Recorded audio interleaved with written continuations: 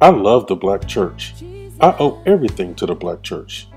The church has traditionally been the beacon that guided us through the valley of our despair to the promised land. The church used to be our only voice in this world. It provided a refuge from the daily injustices of Jim Crow. It gave us great institutions of higher learning that taught us very much with very little.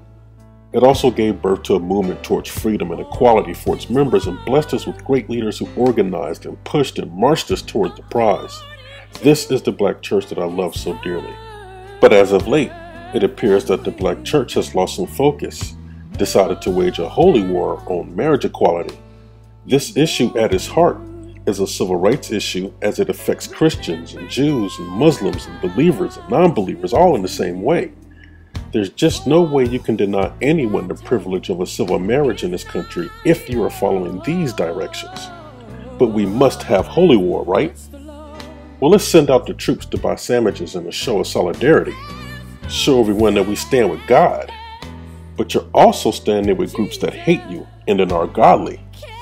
Groups that fund a systematic nationwide attack on our voting rights like in Tennessee and Pennsylvania, where they've passed these new voter ID laws and are making it impossible for our people to cast their votes.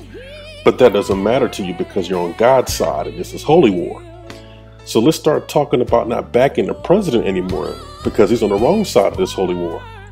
Never mind that we supported him on other biblical no nos in the past. And while we're at it, let's throw the NAACP under the bus too. This is holy war. We don't take prisoners. Look, You've heard what Mitt Romney has planned. He told you. And now he's doubled down by drafting Ryan to the team. Can you really afford to question our best line of defense over this one issue? No, that is not the way. You taught me that for everything there is a season and a time for every purpose under heaven. Now is election season. We are under attack and we got one guy in this fight. Now is the season for us to be fighting going backwards not to be taking pot shots at our only horse in this race.